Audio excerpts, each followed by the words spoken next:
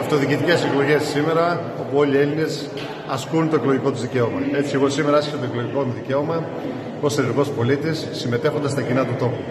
Ευελπιστούμε στο τέλος της ημέρας να είμαστε εμείς νικητέ.